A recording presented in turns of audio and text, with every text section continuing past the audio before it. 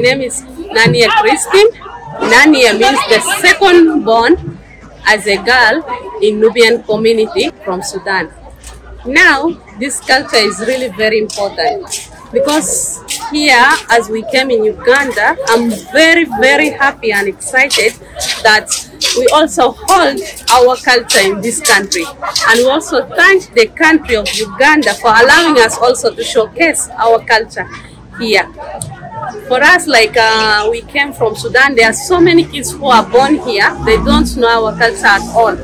But we are here, we show them how we do things back in Sudan so that they are never lost.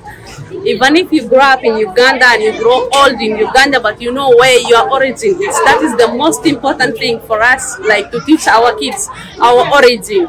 That is the most important part. And also for us, we practice it regularly so that we never forget how we are brought up and what our culture is.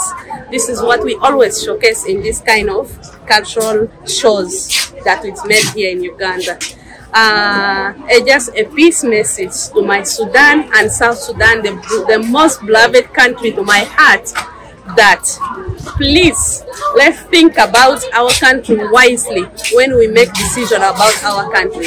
Because we are here we run from war.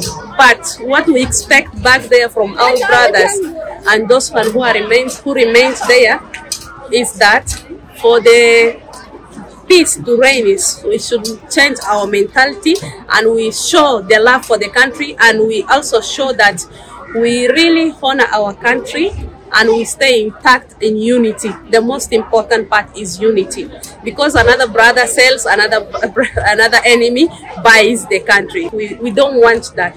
We wanted peace so that one day our kids will also have to visit their motherlands and also see what is the culture with their own eyes and see also the areas which we have left behind.